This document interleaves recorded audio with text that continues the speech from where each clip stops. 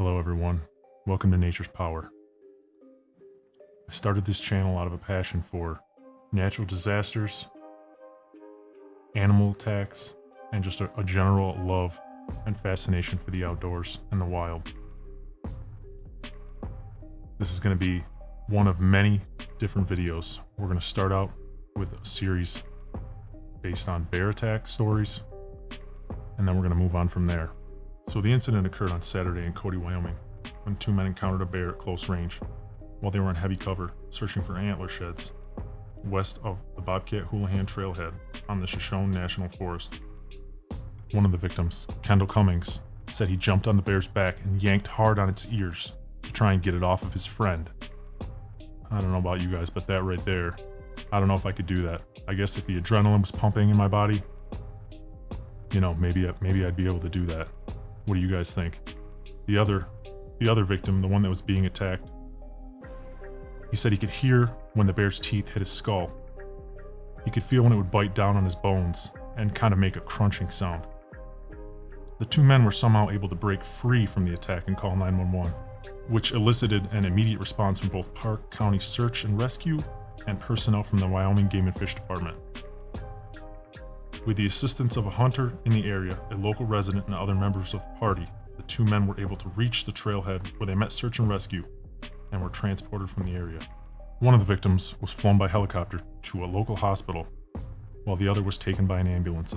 Both men, wrestling teammates at Northwest College in Powell, Wyoming, reportedly underwent multiple surgeries after sustaining major lacerations to the body and face.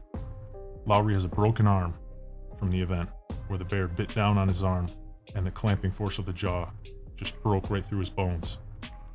Like with most other bear attacks, an investigation into the attack is ongoing, and authorities say it just appears to be a sudden surprise encounter with a grizzly bear. As most of you guys know from a lot of the other stories you've heard, that's usually how it goes. You're not expecting it, you're not prepared, a grizzly bear gets irritated, it's hungry, or just it's protecting its cubs. You know, one of those situations where any other day of the week the bear may have not been hungry. It may not been a time of year when the bears have cubs and the, the guys could have been fine. They could have saw the bear, it could have gone on its way, but not this time. So after the attack, the officials did say there's been an abundance of bear activity at low elevations throughout the region for the past few weeks and urged people to use a lot of caution in the area where the attack took place. You guys can see some of the photos here. The, the guys are in the hospital, they're doing okay, they're recovering. Um, they're being visited by their friends and family.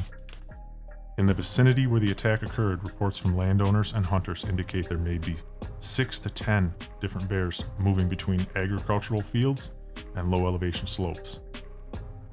Game and Fish will continue to monitor the bear activity in the area and work with the U.S. Fish and Wildlife Service to make management decisions in the best interest of the public safety and, of course, of the bears. It's a sad and unfortunate situation, and we wish both victims a speedy recovery. I'm sure all of you do too. In an interview after the attack, Lowry said, I don't know what I'm going to do to pay him back. I just don't know. I owe him everything. Regarding Cummins' quick actions that potentially saved his life. His friend literally jumped on the bear's back to try and get it off of his friend. Man, these two guys, luckily these were strong young guys. You know, they they had some sort of chance against, you know, a smaller bear. A large a large enough bear, a hungry enough bear, there would have been no chance. The bear would have just shrugged off any sort of attack that, that, that the guys had on it. But there it is, guys. Just recently in the news. So be safe out there.